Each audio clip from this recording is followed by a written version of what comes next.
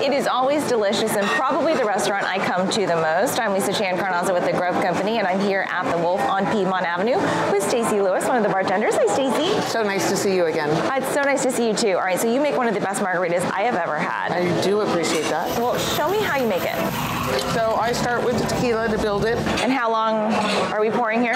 No. this is mine's a three count. A lot of times people they count much faster than I do, but to me uh, Okay. it's a slow count. We appreciate So the slow a- count, For for me, sure. it's a three. This is a one. Lime juice, fresh, also Okay. one. And just a drizzle of simple syrup. And you want it to stay cold and not get watery. So go ahead and pour it out. It's garnished with a really simple lime wheel. Okay.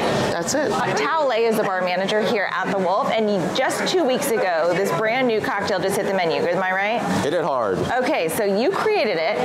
What's it called?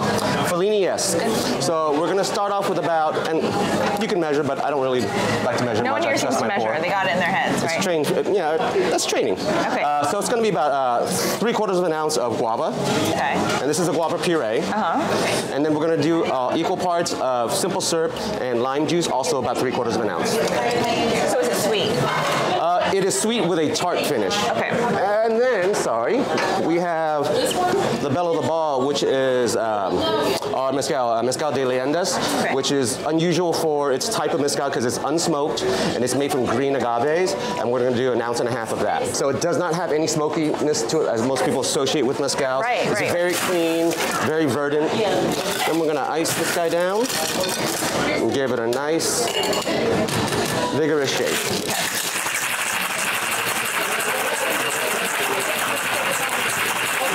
Wow, there seems to be like a lot of technique to your shake. All flare, all flash, no substance. All flash, no substance. We're gonna dirty dump this, which means we're gonna still we're gonna keep the ice that we shook it with in there. Uh-huh. And then Oh, wow. to finish it, we have uh, this is the Fellini part. This the is the part I wasn't sure about, Yeah. but I really liked it. So this is the Agrumato whip. So it's the Agrumato oil along with heavy cream and shaken, not not whipped. Yeah. And then you're gonna top it with a little bit of smoked sea salt. Perfect. Beautiful. The Fellini-esque.